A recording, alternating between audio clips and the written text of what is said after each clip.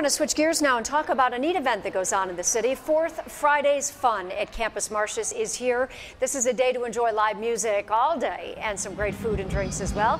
Taking a live look, you've got Anne Marie LaFlame having fun right now. What's going on, Anne Marie?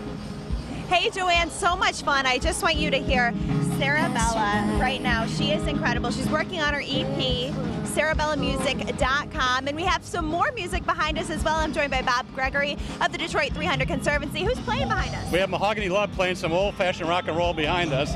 And we're really, we, today's a really special day because we, we have American Authors, who's an acclaimed indie rock band from Brooklyn, New York.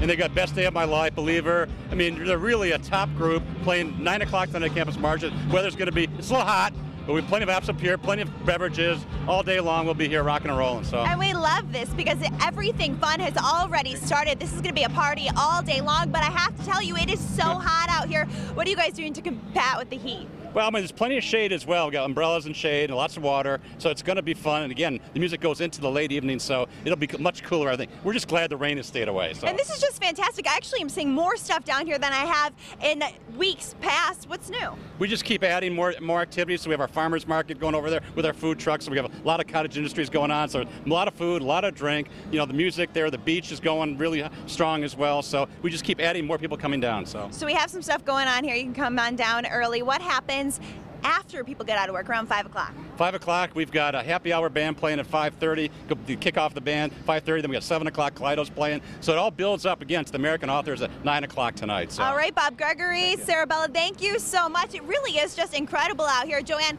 after the show, come on out here and we'll uh, listen to some music together. I'll do that. It is just beautiful down. Hot, yes, but in the shade, it's nice. Anne Marie, thank you so much. Still ahead.